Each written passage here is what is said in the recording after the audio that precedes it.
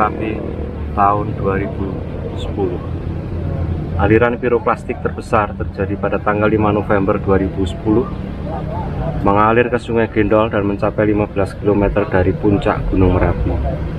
Batu ini juga merupakan sisa aliran piroklastik.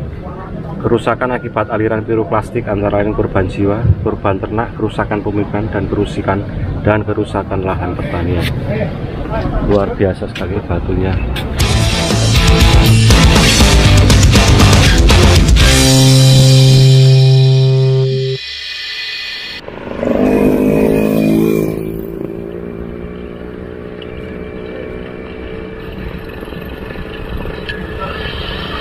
Etapa pertama.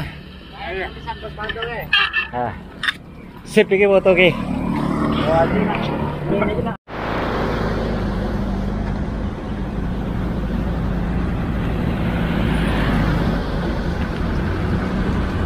Pos pantau lahar dingin Merapi.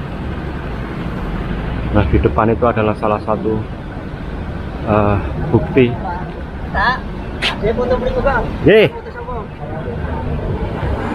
erupsi Merapi 2010 ini adalah batu yang terbawa menurut cerita lahar dari Merapi melewati kali Gendol.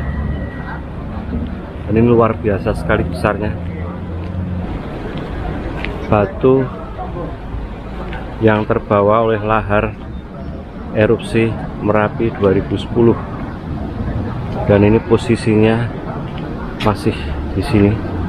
Ini jarak dari Merapi sangat jauh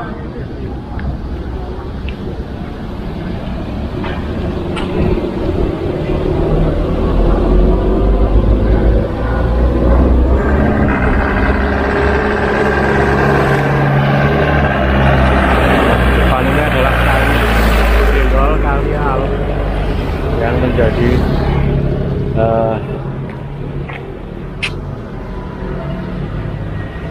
sungai utama atau sungai besar yang dilewati oleh lahar dingin lahar panas bahkan merapi dam kali gendong sangat besar sekali.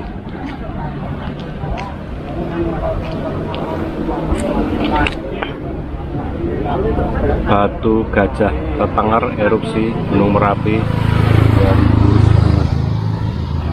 Aliran piroklastik terbesar terbesar terjadi pada tanggal 5 November 2010 mengalir ke Sungai Gendol dan mencapai 15 km dari puncak Gunung Merapi. Batu ini juga merupakan sisa aliran piroklastik. Kerusakan akibat aliran piroklastik antara lain korban jiwa, korban ternak, kerusakan pemukiman, dan kerusakan lahan.